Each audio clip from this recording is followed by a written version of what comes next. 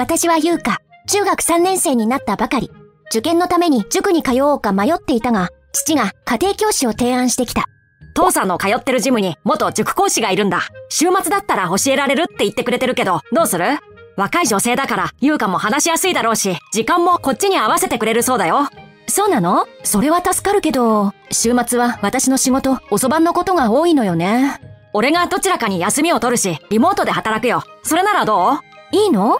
だったら助かるわ。優香はどう？うん、私も家庭教師の方がいいな。塾からだと帰り道が暗くて、ちょっと怖いなって思ってたから。帰り道は心配しなくていいのよ。迎えに行くし。ううん、家庭教師の方がいい。お父さん、その人にお願いしてくれる？ああ、わかった。もし合わないなって思ったら途中で辞めることもできるからね。うん。家庭教師か。どんな人なんだろう。その週末、早速父が家庭教師になる人を連れてきた。はじめまして、月山はるみです。は、はじめまして。わあ、綺麗な人。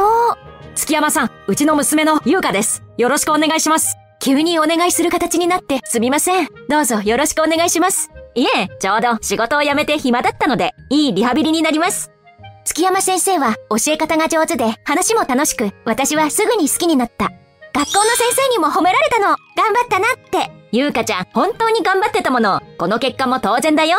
えへへ。この調子でいけば志望校にも合格できるよ。本当？やったー月山さん、そろそろ時間だから送っていくよ。あ、もうこんな時間。それじゃあ、ゆうかちゃん、来週までにここのページまでやっておくのよ。はーい。じゃあ、川田さん、よろしくお願いします。勉強が終わるのは夜8時過ぎていたので、毎回父が先生を送っていた。あ、私も一緒に行っていい？え？どうした？なんとなく、まだ先生とおしゃべりしたかったし、ダメもう少しでお母さん帰ってくるし、お帰り行ってあげたら？帰ってきて俺も優香もいなかったらお母さんかわいそうじゃないか。そっか、そうだね。じゃあね、優香ちゃん。はい、また来週待ってます。あ、そうだ。お父さんに帰りコンビニに寄ってもらおう。シャープの芯がなくなっちゃったから。まだ今なら追いかければ間に合うよね。よかった。まだいた。お父さん。え？え？何？今、キスしてたよね。あれって、やっぱり。おそらく、月山先生と父は不倫をしている。信じられない。あら？ゆうか、どうしたの？お母さん、今帰ってきたの？そうだけど、ゆうかはどうしたの？こんな時間に外に出て。先生は帰ったの？う、うん。今、お父さんが。具合が悪いの？真っ青な顔してる。熱はないみたいだけど、これから上がるのかな？今日は早く寝なさい。うん。お母さんは気づいてない。あんなこと、お母さんに知られたくないよ。父が帰宅したのは先生を送り届けて2時間以上経った後だった。ただいまお帰り。ずいぶん時間かかったけど、どうしたの？帰り道にちょうどスーパー銭湯があるから、ゆっくり風呂に入ってきたんだよ。そうなんだ。でも、あまり遅いと心配するから、次からは連絡ちょうだい。わかったよ。うーん。ゆうか、ただいま。お帰り。すごく怪しい。父と先生の関係を知ってから、二人の仲がどんどん怪しく見えた。月山さん、授業料のことでお話が、今ちょっといいですか？はい、いいですよ。リビングまで来てもらえます？わかりました。ゆうかちゃん、このページと次のページを終わらせておいて。はい。ゆうか、ちょっと先生と大人の話をしてくるから、お前は部屋で待ってるんだよ。うーん。もう、カズトさんたら。だって、はるみちゃんのせいでしょ？そんなこと言うなら、もう家に入れてあげないよ。ごめんごめん。でも、カズトさんのアイデアのおかげで、こうやって堂々と会えるの嬉しいな。でしょ？勉強を教えてくれた後はドライブデートもできるしね。すぐホテル行きたがるくせに。はるみちゃん家まで待ちきれないんだよ。気持ち悪い。最低。二人で私を利用して不倫の時間にしてたんだ。ゆうかちゃん、お待たせ。って、どうしたの？ベッドで寝てるなんて体調悪い？ゆうかちゃん？頭が痛い。もう今日は勉強できない。そっか。じゃあ、ゆうかちゃんのお父さんに相談してくるね。うん。体調が悪いみたいだし、今日はもう寝てなさい。先生はお父さんが送っていくから。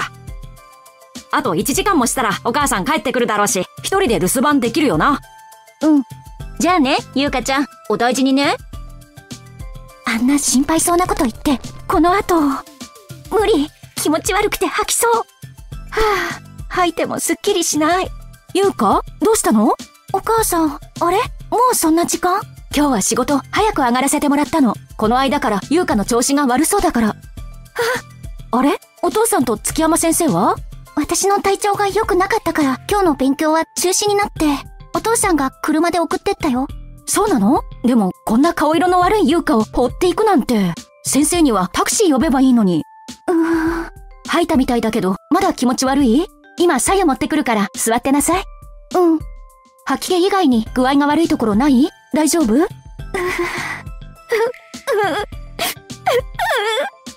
どうしたの？何かあった？お、お母さん。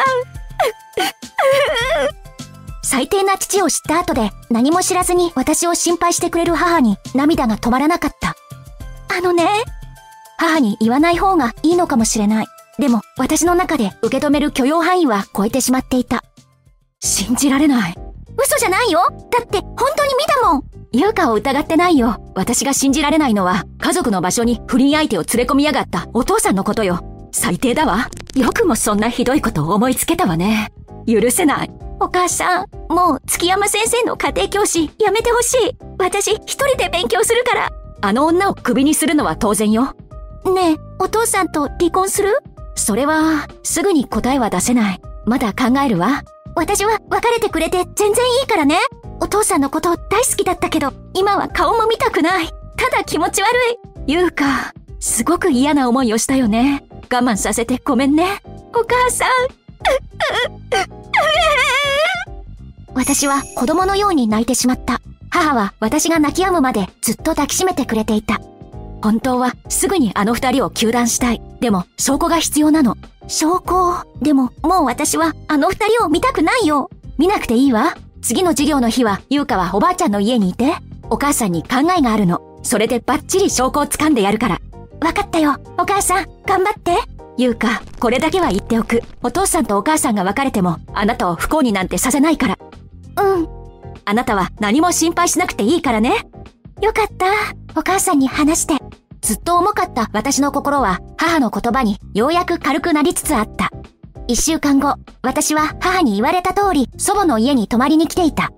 今夜お父さんと話し合うって言ってたけど、大丈夫なのかな？具体的に何をするのか教えてくれなかったけど、すごく気になる。家に戻ってみようかな。ゆうか、ご飯よ。あ、おばあちゃん。私、ちょっと家に忘れ物しちゃったみたい。一旦家に戻るね。ゆうか、ダメよ。え、でも、ちょっとだけだし。ダメ。今夜は絶対に優香を向こうの家に行かせないようにって言われているの。あなたのお母さんから今夜何をするのか聞いてる。だからこそ言っちゃダメ。でも、気になるのはわかる。でも、これはあなたを守るためよ。それに、夫婦のことは夫婦で話し合うべきだとおばあちゃんは思う。おばあちゃん。おばあちゃんね。お母さんが優香に汚いものを見せたくない気持ち、すごくわかるの。お母さんは優香を守ろうとしているのよ。私、そんなに子供じゃないのに。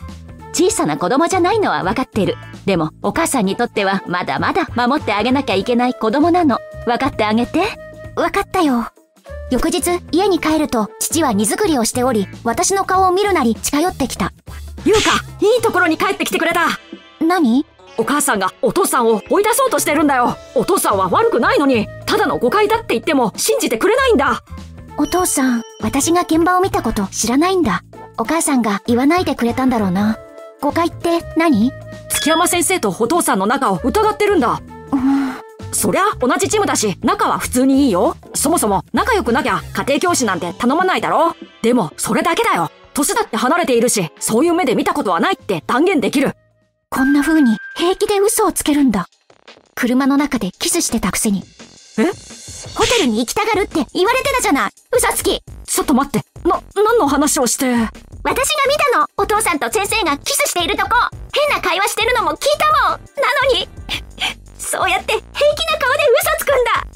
ゆ、ゆうか？もうお父さんなんて呼びたくない。気持ち悪い。うん。二度と私の名前を呼ばないで。顔も見たくない。大嫌い。泣きながら大好きだった父との思い出がいくつも浮かんだ。小さい頃からパパっ子で、どこへ行くにもパパの後をくっついていったっけ雷とか虫とか怖いものが出た時はいつもパパのそばに逃げてたな。でも、気持ち悪い思い出すだけで吐きそうになる大好きだったからこそ裏切られた事実を受け入れることはできなかった。その後、父は離婚届にサインをし、慰謝料と養育費の支払いを約束して、この家を出て行った。私はずっと部屋に引きこもっていたので、父に会うこともなかった。ゆうか、今話せる？うん。お父さん、出て行ったよ。うん。ゆうか、大丈夫？お母さんこそ大丈夫？お母さんは平気よ。むしろすっきりしているわ。私は、ほっとしているのと、やっぱりちょっとだけ、悲しい。ゆうか、お父さんがやったことは許せない。気持ち悪いって今も思う。でも、ずっと大好きだったお父さんの思い出はまだ残ってるから悲しくて。うん、そうだよね。お父さん、優香にはっきり嫌いって言われて、ようやく自分がやったことの大きさを実感したみたい。離婚を嫌がってたけど、優香と話した後、すぐに受け入れてくれたわ。不倫という行為が私だけでなく、優香も裏切ってたことに気づいていなかったって言ってた。出て行くとき言ってたよ。いつか優香に許してもらえるよう頑張るって。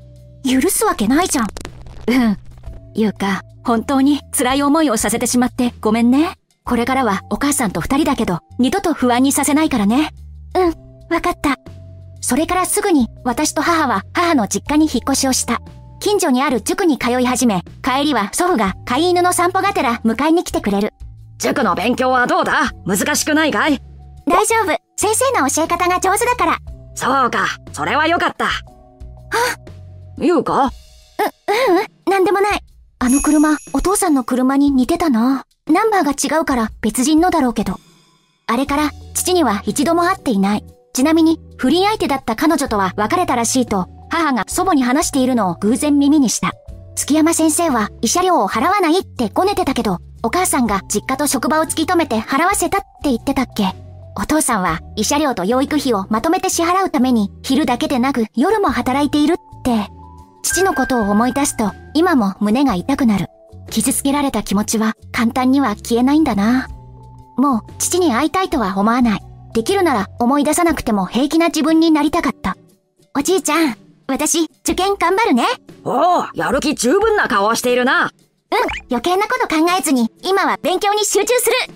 私は気合を入れ、まずは一番近くの目標のことだけを考えようと思うのだった。